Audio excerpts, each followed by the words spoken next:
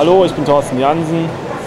Äh, heute steht bei Bobs Handballschule Krafttraining auf dem Programm und äh, ich zeige euch heute mal einen Auszug aus meinem Übungskatalog.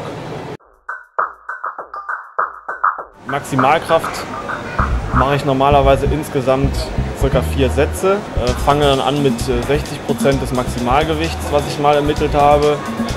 Gehe dann über 75%, mache dann vier bis fünf Wiederholungen, mache dann auch jeweils zwei oder drei Sätze mit äh, 80 oder 90 Prozent, dann jeweils zwei Wiederholungen. Äh, Explosivkraft kann man meistens am besten mit, mit 60 bis äh, 75 Prozent des Maximalgewichts machen.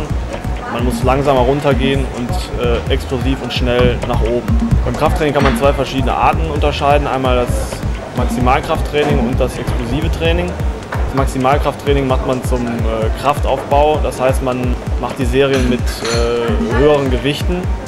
Das heißt bis zu 90 oder 100 Prozent äh, der Maximalkraft. Dann mit weniger Wiederholungen. Die Explosivkraft ist zu empfehlen äh, vor dem Spiel, einen Tag vor dem Spiel oder zwei Tage vor dem Spiel. Arbeitet man mit 60 bis 75 äh, Prozent der Maximalkraft und äh, führt die Übungen anders aus. Das heißt nicht so langsam, sondern man, macht, äh, man geht zum Beispiel bei der Kniebeuge langsamer runter und geht dann schnell wieder in die Bewegung. Das wie gesagt mit weniger Gewicht. Die erste Übung ist die Kniebeuge. Dabei geht es eigentlich ähm, um die gesamte Beinmuskulatur, in erster Linie die Oberschenkel.